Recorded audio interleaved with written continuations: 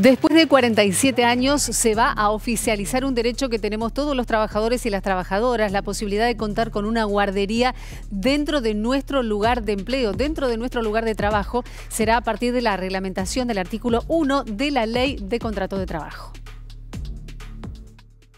Mediante un reciente fallo de la Corte Suprema de Justicia de la Nación, Echeverry, con Poder Ejecutivo de la Nación, se ordenó precisamente reglamentar esa segunda parte del artículo 179 de la Ley de Contrato de Trabajo, que es una ley de 1974, que jamás se reglamentó y que imponía a las empresas donde trabajen determinado número de trabajadoras proveer espacios de cuidado infantil.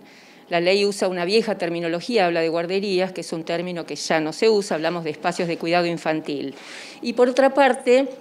esto también de alguna manera da cuenta de cómo nuestra ley tiene una mora infinita en lo que tiene que ver con la responsabilidad social empresaria. Muchas veces se habla de modernizar las leyes, modernizar los convenios colectivos de trabajo y esto desde el sector empresario es sinónimo de flexibilización laboral, de quitar derechos. Por supuesto que hay que modernizar, pero muchas veces modernizar significa precisamente reconocer más derechos o hacerlos efectivos y en este caso esto es lo más interesante interesante que trae el fallo.